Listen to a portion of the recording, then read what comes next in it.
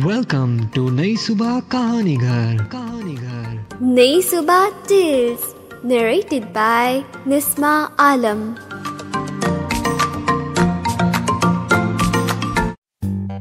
प्यारे दोस्तों अस्सलाम वालेकुम नई सुबह कहानी घर में खुश आमदीद। मैं हूँ निस्मा आलम और आज हम सुनेंगे कहानी फाख्ता और चूटी।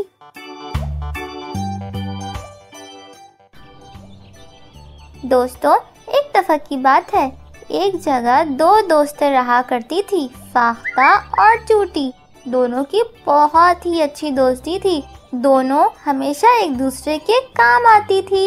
एक दफ़ा की बात है, एक दिन एक शिकारी ने जाल बिछाकर फाख्ता को कैद करने की कोशिश की।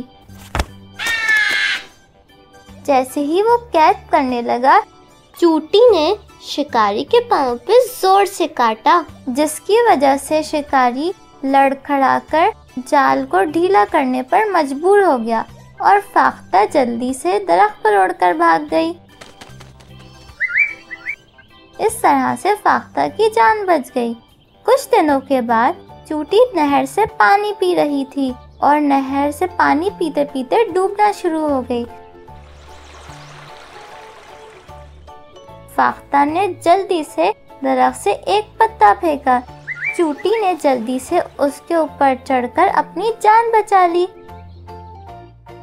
तो देखा बच्चों, जब हम मुश्किल में एक दूसरे के काम आते हैं तो बड़ी से बड़ी मुश्किलात भी हल हो जाती हैं। नई सुबह कहानी घर में इतना ही। मिलते हैं मज़ेदार नई कहानी के साथ। तब तक के लिए अल्लाह हाफिज़।